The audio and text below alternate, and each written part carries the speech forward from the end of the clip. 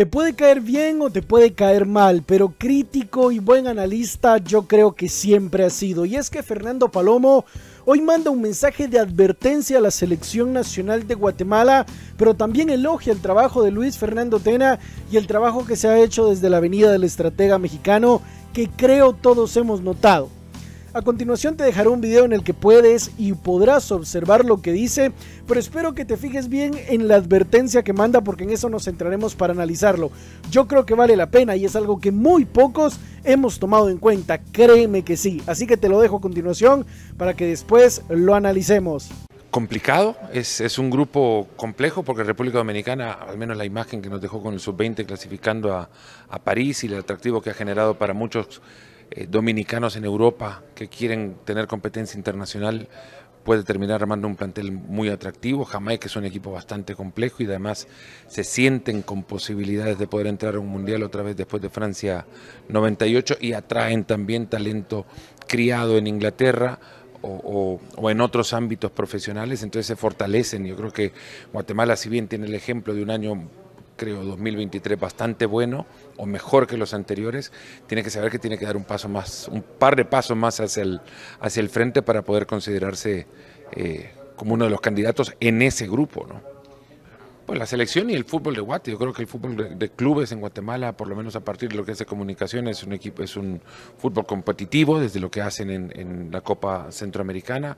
La Copa Oro a mí me dejó un gusto muy agradable, ¿verdad? Porque la idea de juego era siempre con propuesta, nunca tirándose atrás y con juego que a Guatemala siempre le ha venido bien, un juego a ras de, césped y muy rápido y tratando de aprovechar la velocidad de los, de los extremos. Con esa, con, esa idea creo que uno se queda con la sensación de que hay una base desde la cual crecer y eso es lo más importante. Yo creo que cuando un equipo logra ya reflejar una idea en la cancha, creo que puede sentirse un equipo maduro y con posibilidades de crecimiento y eso depende de los futbolistas y el ámbito en el que crezcan los futbolistas.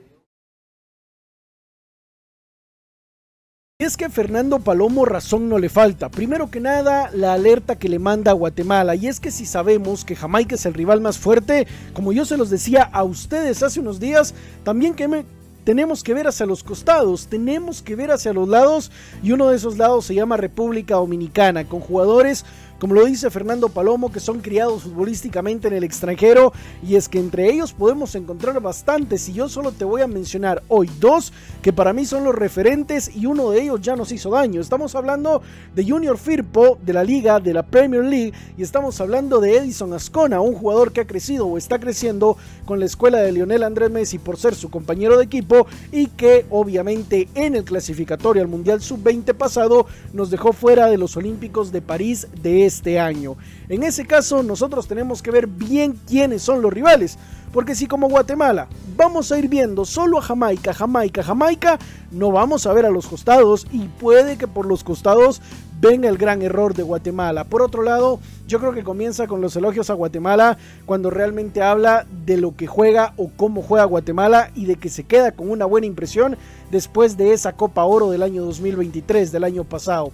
Y es que es cierto, a Guatemala, como lo dice Fernando Palomo, le beneficia el juego por bajo, por suelo, aprovechando las bandas y la rapidez de las mismas. Y por eso mismo Tena siempre se enfoca en que el pasto del Doroteo Guamuch Flores esté al 100% y cuando no es así tiene razón en molestarse y en obviamente exigir una mejora porque ese es el fútbol que le beneficia a Guatemala y más obviamente estando en casa. En ese momento y en ese sentido creo que le doy toda la derecha a Fernando Palomo, es una realidad, el fútbol de Guatemala como él dice ha dado avances, pero necesita dar más para considerarse un candidato en ese grupo. Y no lo digo solo por Jamaica, sino también yo lo menciono y creo que tiene razón por República Dominicana. Una selección fuerte, una selección que va hacia adelante y una selección que cuidado con la misma, porque ahí puede ser el caballo negro que por lo menos a nosotros nos vaya a poder lastimar. Por otro lado, yo me sigo quedando con lo positivo, que es obviamente la Copa Oro que se vivió. No podemos vivir de eso siempre, pero espero que con esa misma decisión, mismas ganas y mismo buen fútbol, vayamos a junio y yo creo que podamos hacer algo diferente. Palabras de Fernando Palomo. Esta vez yo creo que tiene mucha razón, especialmente en la advertencia, en la alerta, hay que fijarse en eso. Déjame tu like, tu comentario, tu suscripción. ¿Qué es lo que piensas de las palabras del gran narrador de ESPN? Y nos vemos, mi gente. Hasta la próxima.